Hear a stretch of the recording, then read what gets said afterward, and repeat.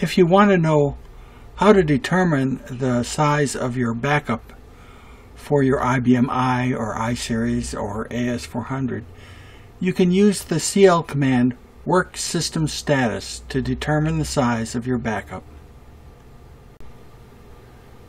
On your IBM i terminal, type work sys status and hit the enter key. Your display should look something like this. In the upper right corner, you'll see the system ASP, which is your total amount of storage. Here it shows to be 558.3 gigabytes. And your percent of system ASP used, which is shown as 82.66%. We can use Google to do our calculations for us. Here I've multiplied 553 times 0.82 for 82% and I'm going to hit the enter key.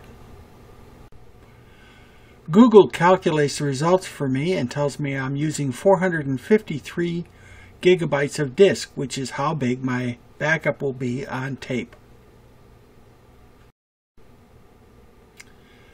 Now that you know the size of your backups, why not find out about using tapeless backup instead of tape? It's faster, easier, and less expensive. We are now doing all flash arrays so you can back up your IBM i to a flash array.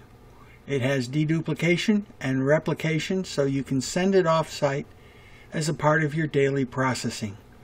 Come visit us at laservault.com or send us an email at info at laservault.com.